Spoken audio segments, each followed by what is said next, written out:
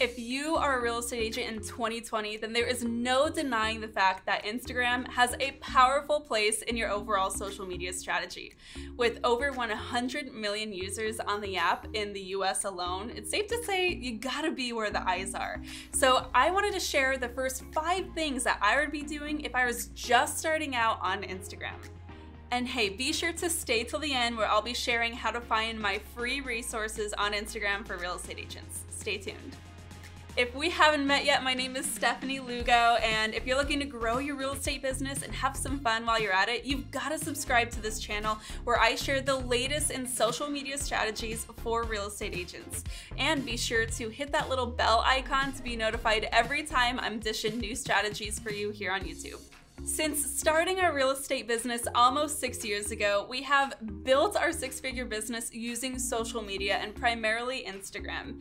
Instagram is so important to our business that it has become one of our number one lead sources in terms of conversion, value of the clients, and how much we love working with these clients. And there's really nothing special about the way I've built this on Instagram. Any real estate agent can do this too.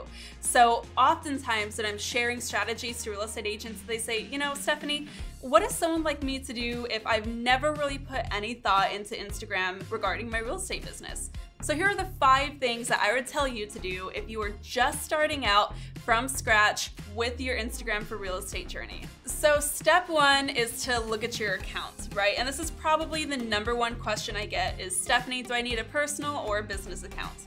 I'm here to tell you it doesn't really matter. Okay, if you already have an Instagram account and say it's a personal account where you already follow your friends and family, go ahead and stick with that account. Now, if you prefer, you can convert that to a business profile. You can also convert it back if you hate the business profile. The only thing that you get when converting to a business account is some extra features like viewing your analytics, right? So being able to see what kind of audience you have and when they're most likely to be on the app. All that is pretty important information to know, but not totally necessary. But you also have the ability to boost posts and create ads from within the app as well. Again, none of this is going to be do or die to your overall Instagram strategy, but you want to make sure that you go with whatever audience you already have. So most agents that I work with tend to already have a personal account where they have an audience.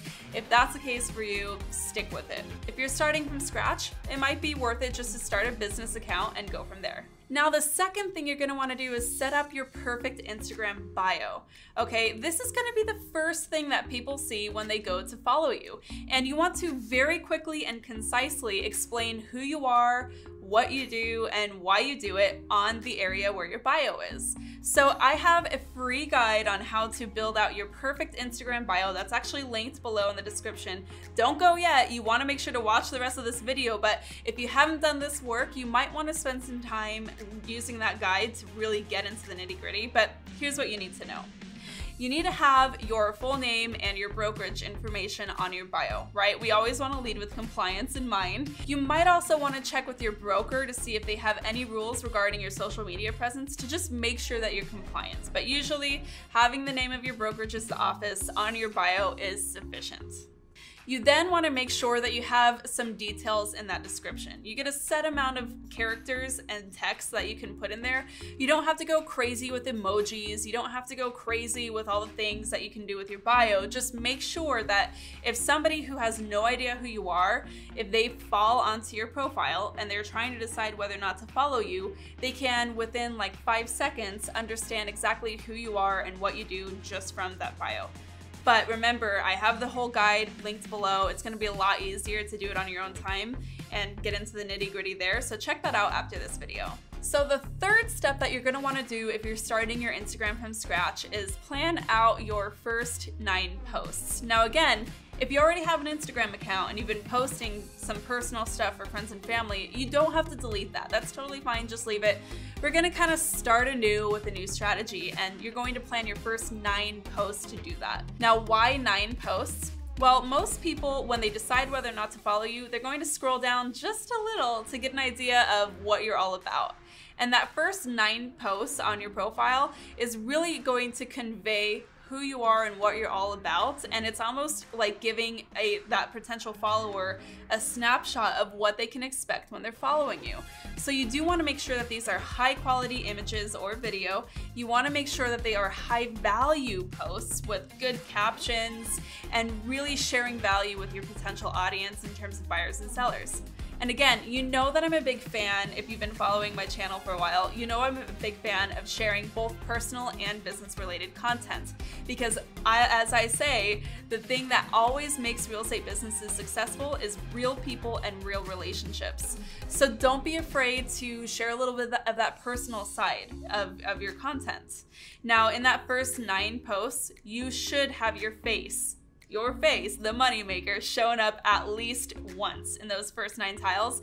And you would do well to show up in your feed every three posts. That means every third post, at the minimum, you're gonna be putting your face on there. I know it sounds scary if you're not used to being on this side of the camera, but remember, this is how we stand out from our competition.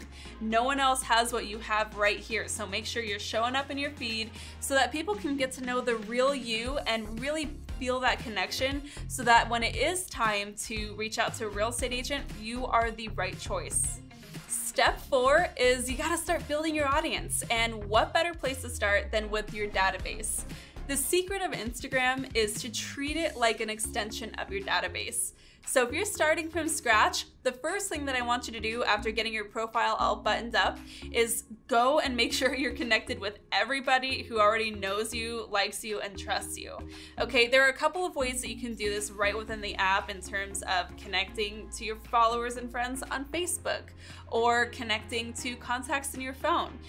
Instagram wants you to be connected to these people as well. So they're gonna make it really easy. You can go ahead and search on the different functions in the settings on Instagram to connect with these other people you're already, you know, connected with via Facebook or the contacts on your phone. But regardless, you wanna make sure that anybody who belongs in your database, you're following.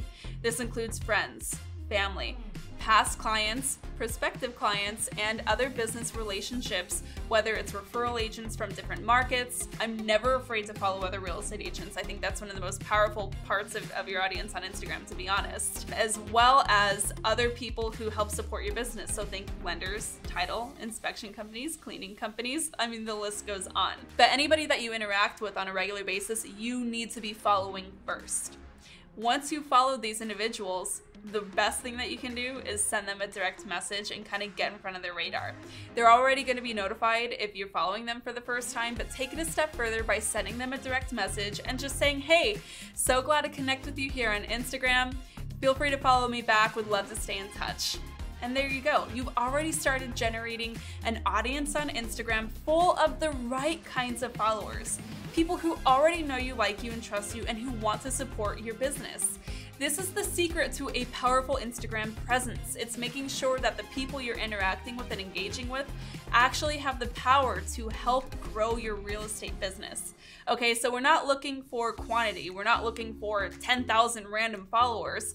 That's not the secret to success. The secret to success is having maybe a couple hundred or a couple thousand of the right followers on Instagram and going in deep with them. Okay, so now it's time for step five, but let's recap really quick. Okay, the first three steps are all about buttoning up your presence on Instagram and making sure your profile is ready and poised for growth. And then we start with following our database and engaging with our database there because again, social media is just an extension of our database database plan. We want to make sure that we're including those people in our strategy so that we're top of mind and in front of them every single day. Now it's time to grow that audience and really put some pieces in place to make sure that we can do that over time.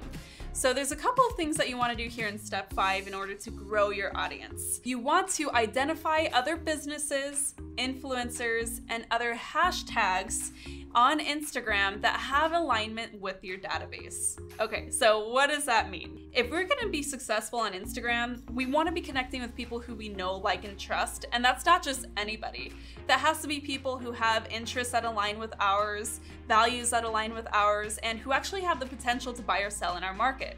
Okay, so that's interests, values, geographical terms that we're kind of trying to stay within.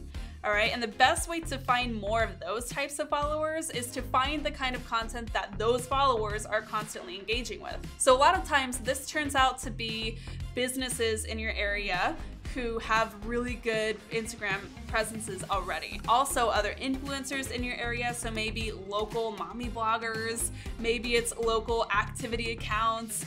There's all kinds of different accounts on Instagram, but a lot of them can be local to your geographical market. You need to identify who those people are, what those accounts are, and you need to follow them as well.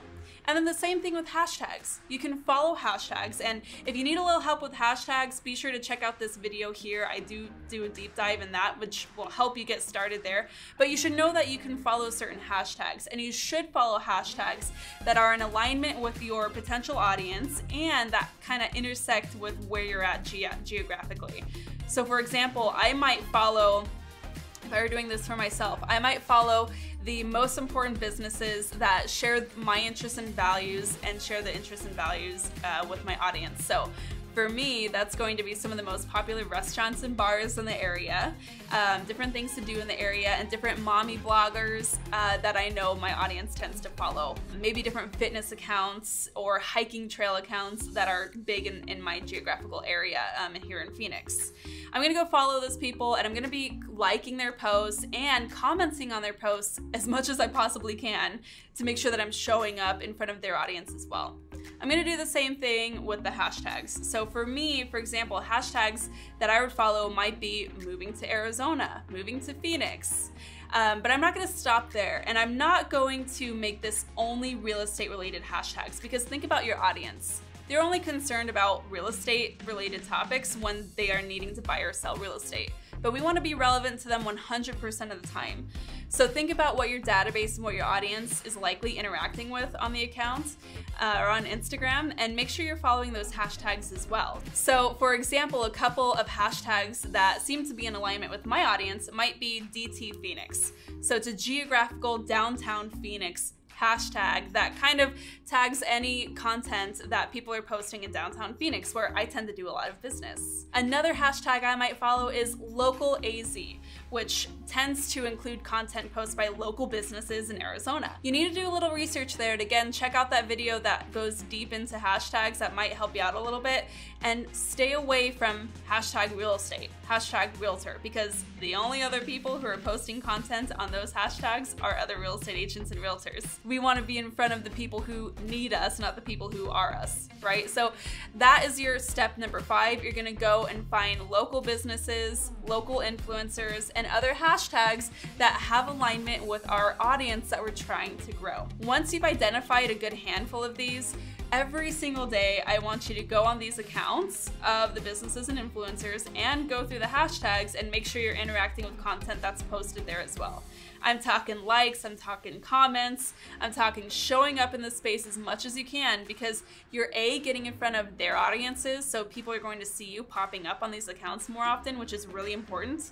Um, and B, you're telling the Instagram algorithm what your account is all about. And the more you do this, Instagram is going to be incentivized to suggest your account to others who have similar interests, and that is going to help grow your organic reach and your organic growth over time. And there you have it. Take those first five steps to creating a powerful machine on Instagram that's going to help you generate leads on demand. I know it sounds kind of simple, but it's really that simple.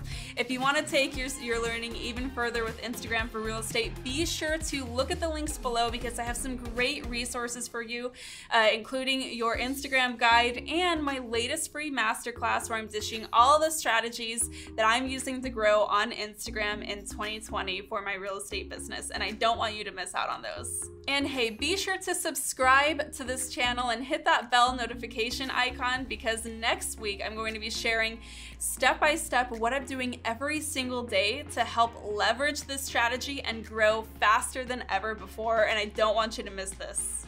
Thank you so much for tuning in. And as always, till next time, keep on crushing it.